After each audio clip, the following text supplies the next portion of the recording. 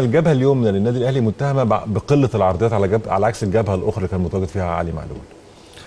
لأن علي بطبيعته يعني لعيب بيعرف يأدي دورين بشكل كبير. يعني علي عنده من الحلول اللي إحنا كنا بنتكلم عليها في محمد أشرف تحديدا عنده حل فردي عنده من الخبرة بشكل كبير إن هو يعرف يوظف نفسه بشكل جيد في في الجبهة اليسرى تحديدا حتى لو اللعيب المساند ليه مش في أفضل حالاته أو مش متفاهم معاه بشكل كبير كان علي دايما هو اللي بياخد المبادرة.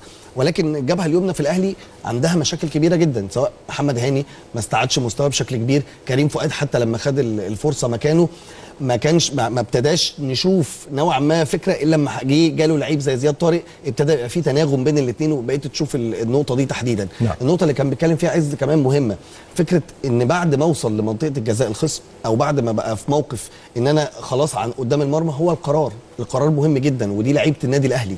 فلازم اللعيب اللي, اللي لابس تيشرت النادي الأهلي ولابس قميص النادي الأهلي يبقى عنده فكرة القرار الأخير ده لازم يبقى جيد. يعني مش بقول إن هو يبقى ممتاز ولكن ما ينفعش يبقى سيء. لأن القرار السيء فيه كرات كتيرة جدا ضاعت من الأهلي بسبب قرارات اللعيبة. المدرب في الآخر مش يعني ما ينفعش هيتحاسب كل المدربين على فكرة مش هيتحاسب على كل القرارات الغلط.